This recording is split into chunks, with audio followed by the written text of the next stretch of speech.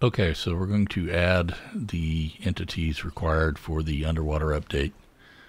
Uh, we want to click the Rule Entity Editor and select Unknown Entities.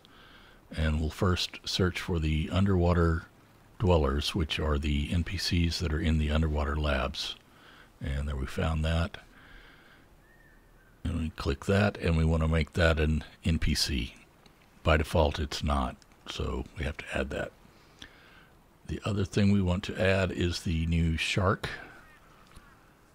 And we're going to try classifying that as an animal just for now. It's technically an NPC, but so are the bear and boar, etc. But we'll make that an animal, and that's pretty much all you need to do.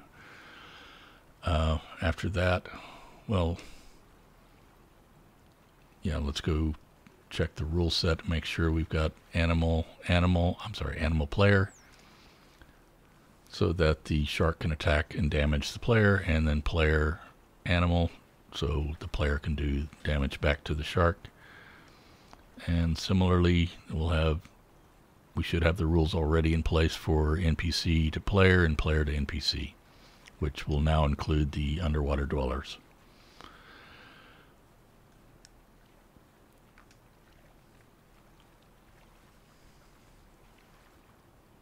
So there you see those rules are these are exceptions to the default rule, which is for the default rule set is no damage. So that wouldn't be much fun at all, would it? So let's go back and look. Uh, the last few months, they've added underground tunnels, and there was a new entity or NPC called Tunnel Dweller. And we can see, I think this was added in an update. But again, you can do this yourself and as you see it's selected as an NPC already. And that's all you really need to do to add anything new to the game. It should automatically get populated into that list and you're done. Thank you